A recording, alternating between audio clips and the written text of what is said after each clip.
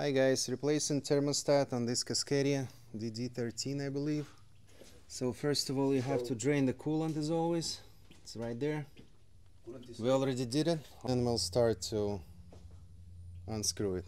You loosen this clamp, then there are four bolts. And that's the new one. So we remove the pipe. We're gonna remove thermostat right now. There are four bolts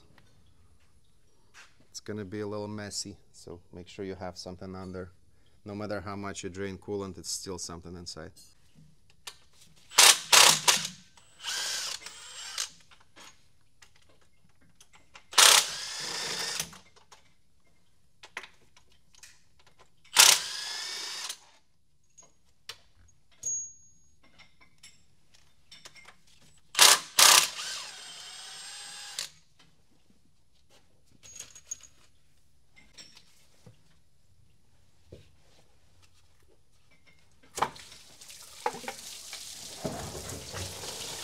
That's what I was talking about.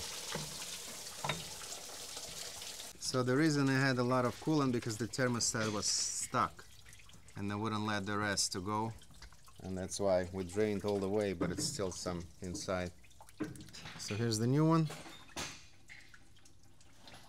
We'll put it on.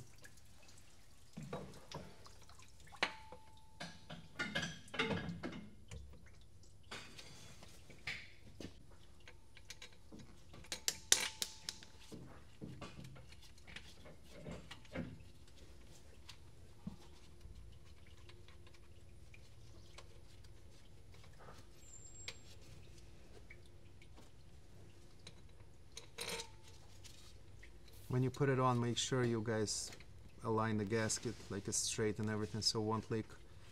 And after it's done we're also gonna do pressure test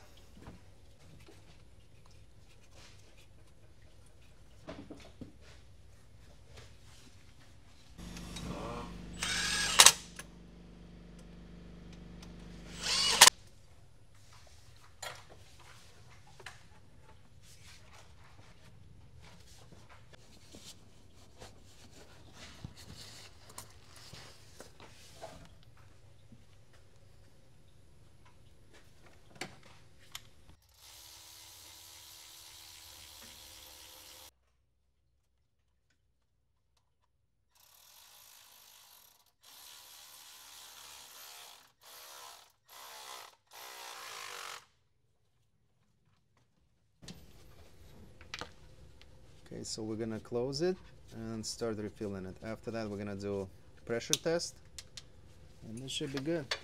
Make sure you guys don't over tie the drain plug. Those are really, you have to be really gentle with them.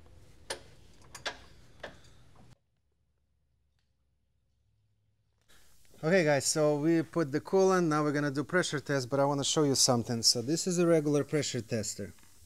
You can buy it, it has a bunch of fittings and stuff, but you can also make your own. Just make sure you watch what you're doing when you put the pressure. Don't overdo it. And uh, just put enough so you can see if there are any leaks. Yeah, like that. Okay, so we did the pressure test. Everything is good. No leaks. And that's that's pretty much is done. So if you guys enjoyed the video, please don't forget to like. And if you want more videos like that, subscribe. Thank you.